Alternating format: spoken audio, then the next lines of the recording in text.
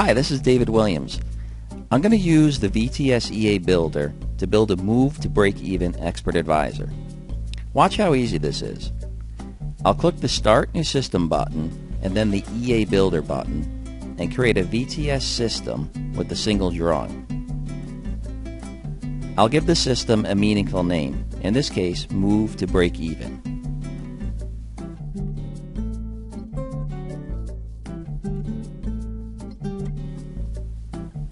I'm going to use the function move to break even, which is a profit exit function.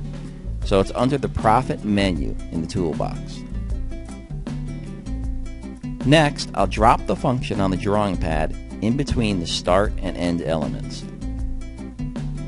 Now I can configure the function by clicking on it. First, I'll define exactly what trades I want the move to break even function to act on. There are several options. that can act on all trades or even just a single trade by entering the ticket number. In this case, I'll select the symbol checkbox so that the move to break even function will only act on trades with the same symbol of the chart that the EA is running on. Next, I could set the level of profit needed before the trade is moved to break even. I'll leave this as 10, so when the trade has a profit of 10 pips, the EA will move the stop to break even. So you're guaranteed to not lose money on this trade. I save and close the function and click the build button.